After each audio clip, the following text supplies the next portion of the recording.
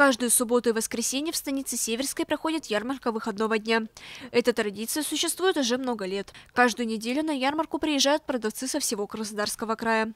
Жители могут купить свежие овощи, фрукты, соленья, молочные и кондитерские изделия по хорошим ценам. В субботу 13 марта на ярмарке отметили Масленицу. Каждый желающий мог отведать вкусных блинов с вареньем или сметаной сладости и чай из настоящего русского самовара.